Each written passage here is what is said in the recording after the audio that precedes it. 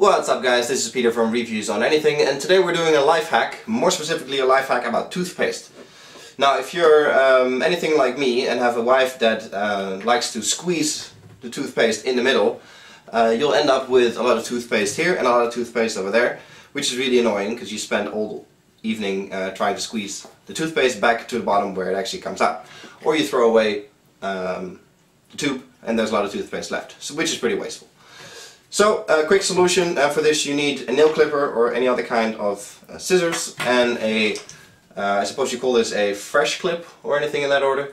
Uh, you use it to seal bags of chips, bags of pasta, uh, maybe a bag of a loaf of bread in a bag. So you probably have this living in your kitchen drawer. You also have smaller versions, uh, but they usually don't fit around the toothpaste. Now you want to begin with squeezing as much toothpaste to the bottom. You can actually do that with the clip right away. Uh, don't close it yet, but just uh, hold it here, squeeze it a bit, and you'll squeeze the toothpaste down right away. Uh, now once most of it is down, put the clip on the top, close it, and here comes the uh, tricky part, or tricky part, important part rather. Um, when you leave it just like that, obviously there's a lot of, uh, there's air in the tube. Uh, you want to get that air out uh, otherwise you'll stuck with an air bubble, which is inconvenient.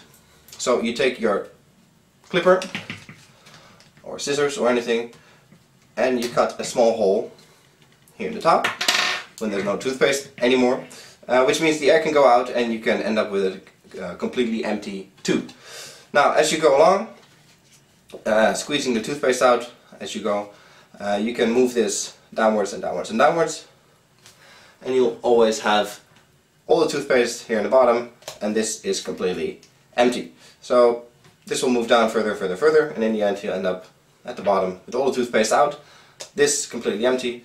Uh, so there's no squeezing here, there's no rolling it up, there's no other kinds of uh, annoying things that you have to go through before you can get your toothpaste. You get everything out and you don't throw everything away, which is always nice. This was a quick hack, toothpaste hack in this case. Hope you guys enjoyed it. Uh, feel free to give it a thumbs up and uh, let me know in the comment section below if you want to see more life hacks like this. Cheers guys!